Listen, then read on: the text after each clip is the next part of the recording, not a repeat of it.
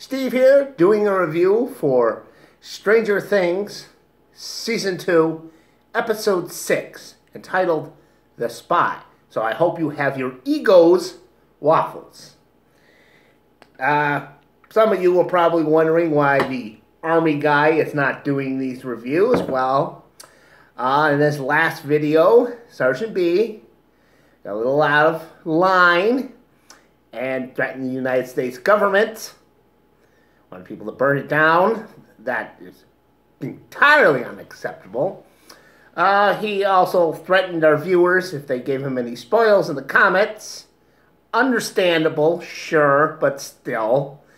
And of course, he said he that Eggo waffles could piss off, which probably would cost us some advertising. And you know, on YouTube. Really not digging those yellow money signs. So anyway, I suspended him for two videos. Uh, the last video for Stranger Things, of course. Uh, we gave that to Kozo, our uh, new hire. Hope you enjoyed that. And today, like I said, I'm going to do a review for uh, Stranger Things. This is episode six. I've watched all six episodes, and uh, this one was a very good one. You know, uh, really bro- took things up a notch. I just have a few notes. Uh, let's talk about Joyce, the mother. Uh, I gotta say, I don't think she's all that good of a mother. Now I know that she's done a lot for Will. She's very protective of him because you know the events of last season. But what about Jonathan? You know the older son. She doesn't seem to give a shit about him. I mean, he left with uh, Nancy to go to see the, the reporter so they could, you know, expose the story two days ago. And I haven't heard say one word about Jonathan. Now, I know a lot's going on with Will because the character, you know, uh, the last episode when they started burning the uh, upside down in Hawkins, uh, he started, you know, spazzing out. And in this one, he's in, you know, Hawkins' lab, basically in the hospital. They're trying to figure out what's wrong with him. And, you know, it's. so I can understand why she's so upset. She might not consider Jonathan, but I mean, really? Not at all. Two days, and she knows all the sort of crazy shit that's going down in her town. You know, you've got this underground lair with God knows what down. You know, you got the slugs, and you know, nearly killed a guy because it was you know just roots were just squeezing him into the wall. And it doesn't occur to her to think, well, where's my other son? She's not the least bit worried about Jonathan. Yeah. Okay, speaking of Jonathan, of course, he and Nancy went out to see the reporter so they could expose the story, although it'll be a little watered down. I did enjoy their storyline, even though it was kind of outside of everything else that was happening. Of course, they hook up. That was sweet. I love fucking Murray's joke the next day. Uh, so, did you enjoy the pullout? that was funny. And he was just really funny. I love how he gave them a bottle of water and vodka as a gift. You know, water it down. Okay, uh, see. Also, I love the twist. The title is called The Spy.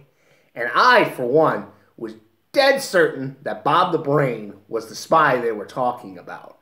But turns out it wasn't him. I won't spoil it for you if you haven't seen it yet. But that was a good twist. And then I'll, I'll give you this twist away. Turns out Reiser's character is a good guy. At one point, they just want to burn down the whole upside down with fire, which affects Will because he's connected to it. And Reiser's like, can we try some other idea? And of course, what I love, a little homage to aliens.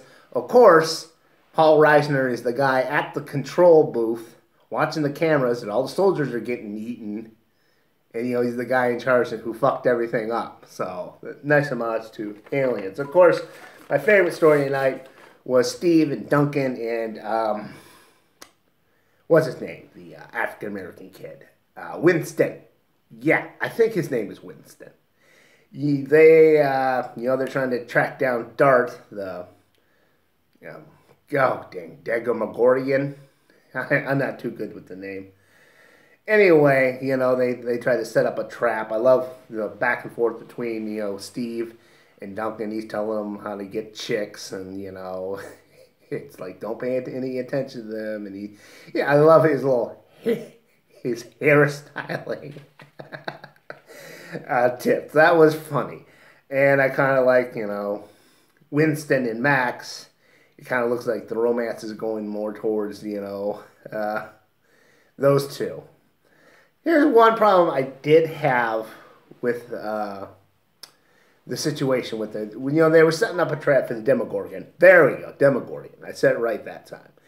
And you know, yeah, Duncan in the last episode was like, "Hey, bring your bat." You know, the the bat they used last season with all the nails in it, and I'm like, when they I see them setting up the trap, you know, it's like it's going to be, you know, there's going to be some fire involved.